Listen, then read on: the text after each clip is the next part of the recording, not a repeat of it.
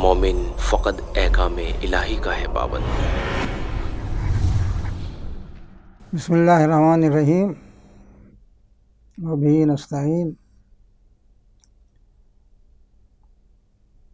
دوستوں اور ساتھیوں اور محترم خواتین،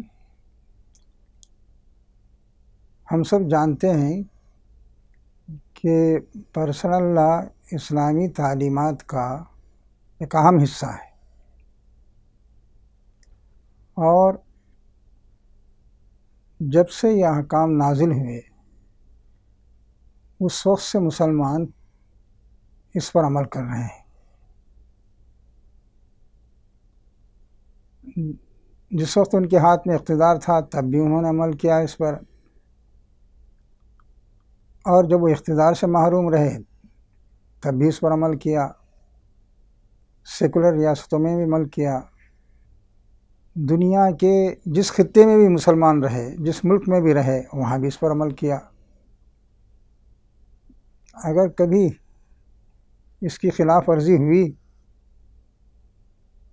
تو آدمی نے اسے غلطی سمجھا اور امت نے اسے اسے پسند نہیں کیا یا اس سے اتفاق نہیں کیا۔ تو یہ جو پرسنل لا کے مسائل ہیں جس میں خاص طور پر نکاح ہے، طلاق ہے، وراثت ہے، خلا ہے نان نفقے کا معاملہ ہے۔ اور اس اس طرح کے جتنے مسائل ہیں، اس کا قرآن مجید میں تفصیل سے ذکر ہے اور حدیثوں میں بھی اس کا بیان ہے۔ لیکن مشکل یہ ہے کہ بہت سے مسلمان اس سے ناواقف ہیں۔ دینی علم نہیں ہے۔ اپنی مرضی کے مطابق بہت سے اقدامات وہ کر دیتے ہیں۔ جس کا اسلامی تعلیم تعلیمات سے جس کی کوئی مطابقت نہیں ہوتی۔ اس لیے ضرورت اس بات کی محسوس ہوتی ہے۔ ضرورت اس بات کی محسوس ہوتی ہے کہ مسلمانوں کو یہ پرسنل لا کیا ہے، اس سے واقف کرایا جائے۔ انہیں بتایا جائے کہ نکاح کس طرح ہوتا ہے۔ طلاق ہو تو کیسے ہو اور نان نفقے کی کیا ذمہ داریاں ہیں؟ علیحدگی ہو تو کس طرح ہو؟ خلا کے کیا احکام ہیں؟ وراثت کس طرح تقسیم ہوتی ہے؟ ضرورت اس بات کی محسوس ہوتی ہے کہ عام مسلمان جو اس سے ناواقف ہے ان کو واقف کرایا جائے۔ اور یہ بھی بتایا جائے کہ اللہ تعالیٰ کی ناکام کے اندر بڑی حکمت ہے۔ مسلمان ہر دور میں عمل کرتے رہے اس پر، کبھی یہ سوال کھڑا نہیں ہوا کہ اس پر عمل سے فلاں نقصان ہو رہا ہے۔ کبھی ایسی وقعات سامنے نہیں آئی، آتی تو ہمیشہ غور کرتے اس پر، لیکن کبھی ایسی صورت نہیں پیدا ہوئی کہ لوگ یہ کہے کہ صاحب اسلامی حکام پر عمل کرنے سے یہ یہ دشواریاں پیش آ رہی ہیں۔ اگر کوئی دشواری ہے تو اس کا حل بھی اسلام میں موجود ہے۔ دوسری بات یہ ہے کہ آپ اب دیکھیں گے کہ اس وقت میں ساری دنیا کی بات تو نہیں کرتا، اس ملک میں آپ نے دیکھا ہوگا کہ مسلمانوں کے پرسنل لا کو لے کے بڑی بحثیں ہو رہی ہیں۔ ایسا معلوم ہوتا ہے کہ مسلمانوں کا سب سے بڑا مسئلہ یہی ہے۔ ان کی تعلیم، تربیت، ان کی معاش معیشت یا ان کی جان مال کی حفاظت، یہ کوئی مسئلہ نہیں ہے۔ اصل مسئلہ یہ ہے کہ مسلمان جو ہے پرسنل لا پر عمل کر رہے ہیں یا کرنا چاہتے ہیں۔ اور وہ اس کی وجہ سے ترقی نہیں کر رہے ہیں یا اس میں ناانصافی ہے۔ ایک پورا آپ نے دیکھا ہوگا کہ ایک ماحول بنایا جا رہا ہے اور میڈیا اسی کام میں لگا ہوا ہے۔ مسلمانوں کے مسائل، ان کے ساتھ ظلم ہو رہا ہے، زیادتی ہو رہی ہے، ناانصافی ہو رہی ہے۔ ان کی جان مال محفوظ نہیں ہیں، چھوٹی چھوٹی بات پر بڑے بڑے واقعات ہو رہے ہیں، ان کے نوجوان گرفتار ہو رہے ہیں، کوئی مسئلہ نہیں ہے۔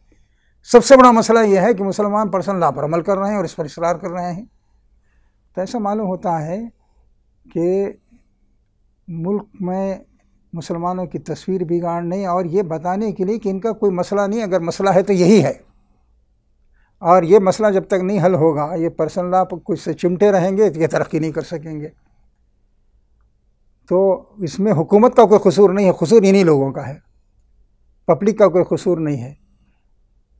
اور جو اسلام کے قوانین ہیں، اس میں ناانصافی ہے۔ عورت کے ساتھ ناانصافی ہے، ماں باپ کے ساتھ ناانصافی ہے، رشتہ داروں کے ساتھ ناانصافی ہے۔ یہ سب باتیں پھیلائی جا رہی ہیں۔ تو ضرورت اس بات کی ہے، محسوس ہو رہی ہے، کہ یہ جو فضا بنی ہے ملک کے اندر، اور مسلمانوں کے خلاف، کہ مسلمان غلط طریقے سے غلط احکام پر عمل کر رہے ہیں اور اس میں ناانصافی ہو رہی ہے، خاص طور پر عورتوں کے ساتھ۔ اسے سمجھانے کی ضرورت ہے۔ اور جو لوگ ایسی فضا پیدا کر رہے ہیں، ان کا جواب دینے کی ضرورت محسوس ہوتی ہے۔ ظاہر ہے کہ یہ کام مدرسے بھی کر رہے ہیں، ادارے بھی کر رہے ہیں، لوگ کتابیں بھی لکھتے ہیں، خطبے اور خطبوں میں بھی یہ باتیں آتی ہیں۔ بعض نصیحت میں بھی سمجھایا جاتا ہے۔ لیکن مسلمانوں کی اتنی بڑی آبادی ہے اس ملک کے اندر، پندرہ کروڑ سے زیادہ کی، کہ ان اور خاص طور پر جو عوام ہیں، ان تک بات پوری طرح نہیں پہنچ رہی ہے۔ اور وہ دین سے اور اس کے حکام سے اور اس کی حکمت اور فلاسفی سے وہ واقف نہیں ہو رہے ہیں۔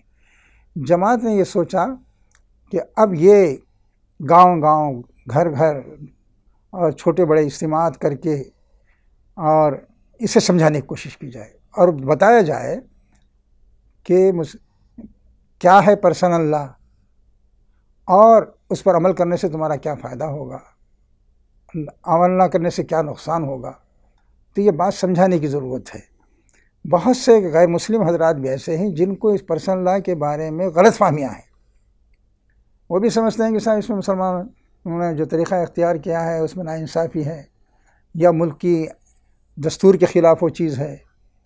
تو ہم یہ بتانا چاہتے ہیں کہ پرسن لا کی آزادی ہمیشہ سے حاصل رہی ہے۔ انگریزوں کے زمانے میں بھی حاصل رہی۔ موجودہ دستور نے بھی تسلیم کیا ہے، اسی آزادی کے تحت ہم کام کر رہے ہیں۔ دستور سے ہٹ کے جانے کا کوئی سوال ہی نہیں پیدا ہوتا۔ کوئی شخص یہ نہیں کہہ سکتا کہ دستور نے جو آزادی دی ہے، اس سے آگے ہم جا رہے ہیں۔ یہ بات نہیں کہہ سکتا۔